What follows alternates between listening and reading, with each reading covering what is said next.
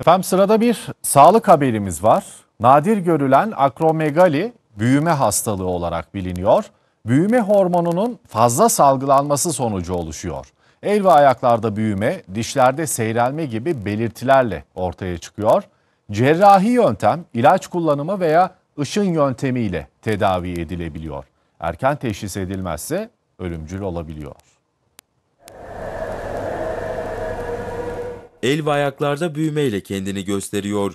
Büyüme hormonunun fazla salgılanmasıyla ortaya çıkıyor. Akromegali 1 milyonda 20 kişide görülüyor. Genellikle kandaki hormon düzeylerine göre e, ile tanı koyuyoruz. Eğer yaş ve cinsiyete göre yüksekse o değer e, tanısal olarak bize yardımcı olabiliyor.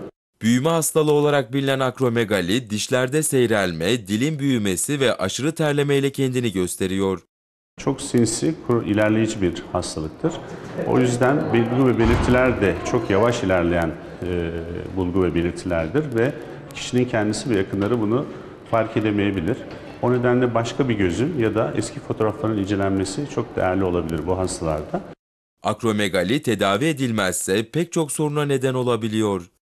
Eklemlerde rahatsızlığa yol açabilir, kalpte büyüme ve kalp yetmezliğine yol açabilir, uyku apnesi gibi e, sebeplere yol açabilir, uyku bozukluğuna yol açabilir, dalakta büyümeye yol açabilir ve ölüme yol açabilir eğer tedavi edilmezse.